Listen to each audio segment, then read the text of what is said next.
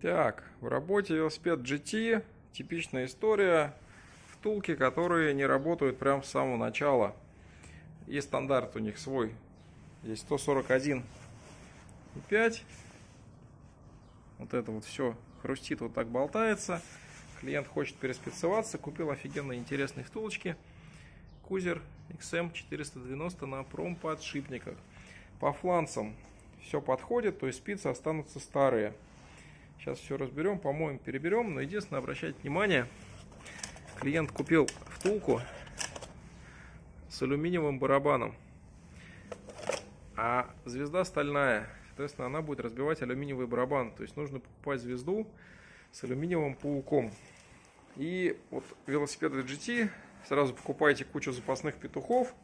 Петух это вот эта алюминиевая часть, это крепление заднего переключателя. Она очень хрупкая, ломается, гнется. Желательно иметь всегда про запас хотя бы одну штучку. И втулочки тоже следите. Желательно сразу же, когда вы купили велосипед, сразу же смазать, подмазать, протянуть и нормально настроить. Тогда они проходят хотя бы годик, а то и два. А так вот, к сожалению, все это болтается, люфтит и не очень хорошо работает.